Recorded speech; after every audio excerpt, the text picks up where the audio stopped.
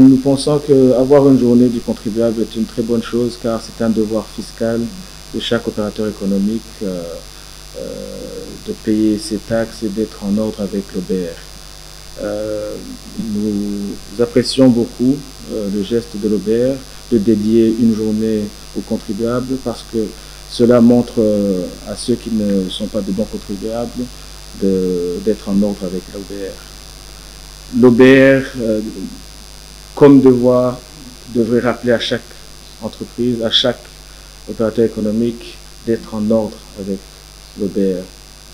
C'est une très bonne chose que OBR ait pu mettre un système euh, comme celui-là parce que avant nous avions des cas de vol, euh, de disparition des, des, des, marchandises, mais avec ce nouveau système, il y a une très grande euh, réduction de ces problèmes.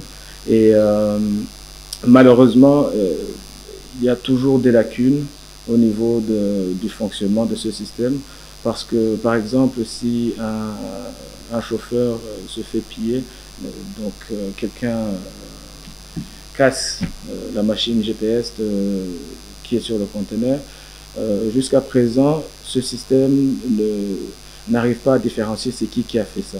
Donc le problème c'est que des fois ils pénalisent le chauffeur, des fois ils, pénalisent, ils disent que c'est les voleurs, mais il faudrait qu'il y ait un système en soi qui puisse euh, bien identifier c'est quoi le problème.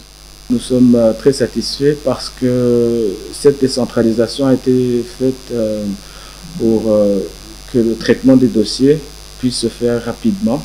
Et euh, jusqu'à présent, ça fonctionne très bien, malgré quelques bureaux qui ne communiquent pas aussi rapidement, mais c'est très très efficace.